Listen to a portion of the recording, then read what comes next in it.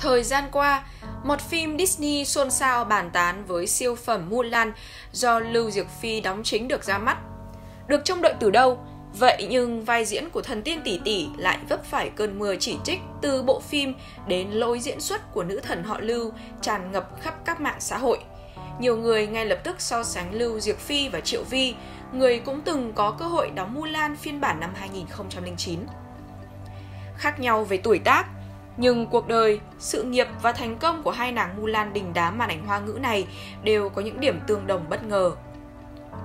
Vai diễn Tiểu Yến Tử và bộ phim Hoàng Châu Cách Cách đã gắn liền với tuổi thơ của biết bao thế hệ 8X và 9X. Và nhờ sức hút của bộ phim này mà tên tuổi của Triệu Vi trở thành ngôi sao hạng A và được yêu mến trên đông đảo khắp thế giới và trở thành biểu tượng của làng phim châu Á. Ngoài ra, nàng én nhỏ còn sở hữu một thành tích học tập vô cùng đáng nể.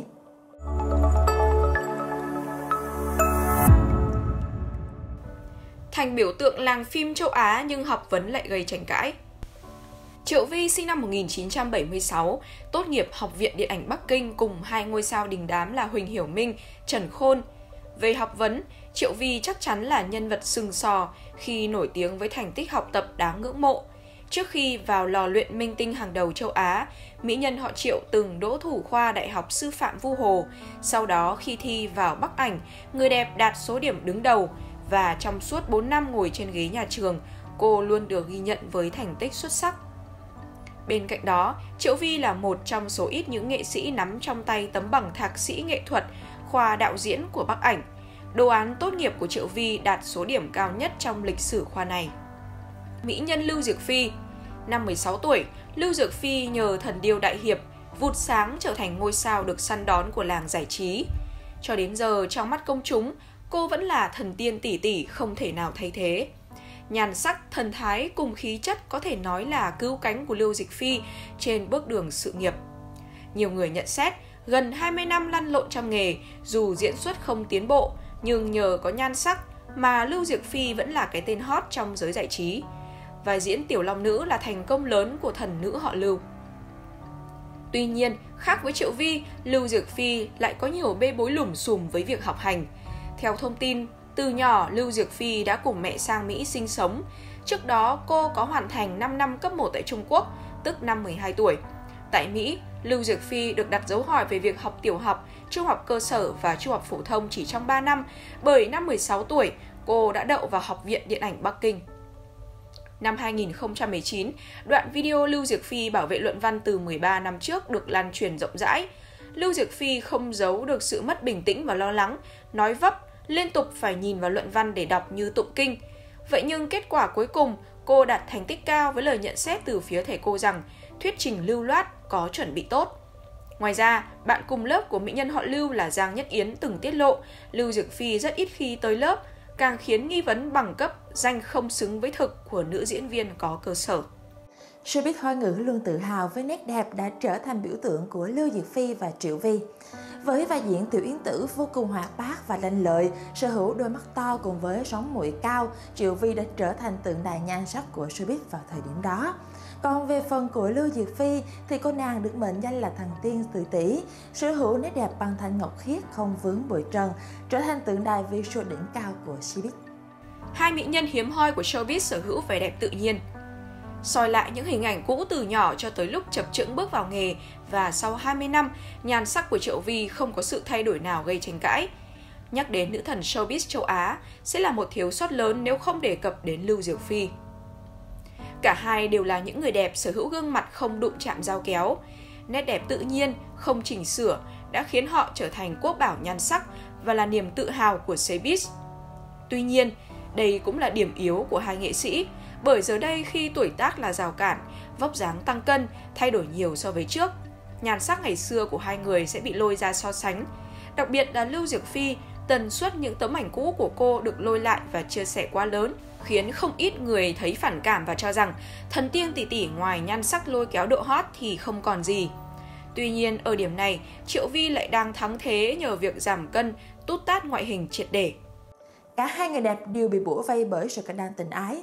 Về phần của Triệu Vi thì cô từng vướng vào một sự scandal gây chấn động khi bị cho là phá hoại hạnh phúc gia đình người khác, sau đó thì lại bị gắn mát là giật bồ của bản thân. Về phần của Lưu Diệc Phi thì cũng chẳng chịu thua kém đàn chị, khi suốt 20 năm cô bị cho là có mối quan hệ tình ái với cha nuôi Trần Kim Phi, sau đó với mối tình chỉ cho là chiêu trò với Son Sơn Hun và cuối cùng là tin đồn tình yêu đồng tính. Scandal tình ái của én nhỏ Triệu Vi từng hẹn hò với thiếu gia Uông Vũ, tuy nhiên thời điểm cả hai mới qua lại, Uông Vũ chưa chia tay tình cũ là Trương Mẫn, chính vì thế Triệu Vi bị gắn danh phá hoại hạnh phúc người khác. Trong một lần không đồng ý tham dự tiệc cùng nhóm bạn của Uông Vũ, Triệu Vi khiến bạn trai cảm thấy mất mặt, sau đó giận dữ tát cô ngay tại chỗ đông người. Cặp đôi vì đó chia tay nhau. Không chỉ vậy, Triệu Vi bị cho là tiểu tam giật bồ của bạn thân. Cô và Hoa hậu Diệp Thúy Thúy từng có quan hệ bạn bè khá tốt đẹp. Diệp Thúy Thúy lúc này đang hẹn hò với đại gia Huỳnh Hữu Long, thậm chí còn được cầu hôn bằng nhẫn kim cương khủng 4 carat. Hoa hậu Hồng Kông vui vẻ giới thiệu Triệu Vi cho ông xã, không ngờ rằng Huỳnh Hữu Long và Triệu Vi lại bất ngờ nảy sinh tình cảm sau đó. Kết cục, đại gia họ Huỳnh chia tay với Diệp Thúy Thúy và theo đuổi nàng én nhỏ. Sau đó, Triệu Vi bí mật kết hôn với Huỳnh Hữu Long tại Singapore. Triệu Vi từng nhận về nhiều chỉ trích khi netizen cho rằng cô là kẻ hám danh lợi nên mới yêu vị đại gia nhiều tuổi, từng một đời vợ và có con riêng. Cho tới tận bây giờ, Triệu Vi vẫn chưa có một hôn lễ cho riêng mình. Còn về phần Lưu Diệc Phi, cuộc sống đời tư của thần tiên tỷ tỷ cũng chẳng kém phần drama so với đàn chị. Suốt gần 20 năm qua, cô luôn bị đồn thổi có mối quan hệ không bình thường với cha nuôi đại gia Trần Kim Phi chân ướt chân giáo bước vào showbiz, nàng thần tiên tỷ tỷ lại được Trần Kim Phi hết lòng nâng đỡ, có được nhiều vai diễn quá tốt và ưu ái so với tuổi nghề. Điều ấy làm công chúng đặt ra dấu hỏi, phải chăng Trần Kim Phi là tình nhân trong bóng tối của Lưu Diệc Phi? Cô còn được cha nuôi tặng cho khối bất động sản trị giá tiền tỷ, giải rác khắp nơi, điều bất thường đối với một nghệ sĩ tuổi đời còn quá trẻ.